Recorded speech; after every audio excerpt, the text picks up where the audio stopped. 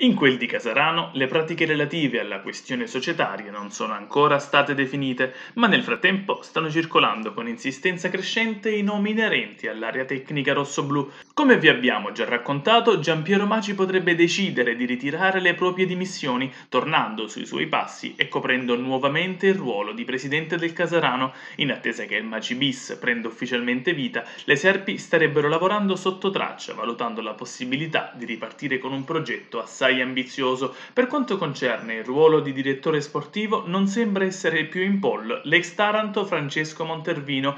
Nelle ultime ore sembrerebbero invece salite le quote di Carlo Musa, che nell'ultima stagione ha ricoperto il medesimo ruolo fra le file del Teramo. Musa conosce bene la Serie D. Nella stagione 2018-2019 centrò il salto di categoria con l'Avellino per poi vincere anche la Pol Scudetto. Il nome nuovo è invece quello di Andrea Corallo, che ha lasciato il Nardò dopo otto anni. L'impressione dunque è che i tre possano contendersi il ruolo di DS, mentre per la panchina resta caldo il profilo di Vito Di Bari, reduce dall'esperienza di Andria, dove ha strappato la salvezza nel girone C di Serie C. L'alternativa al tecnico tranese consiste nella conferma di Monticciolo, che dopo essere stato accostato anche a Fasano e Brindisi potrebbe ripartire proprio dal Casarano.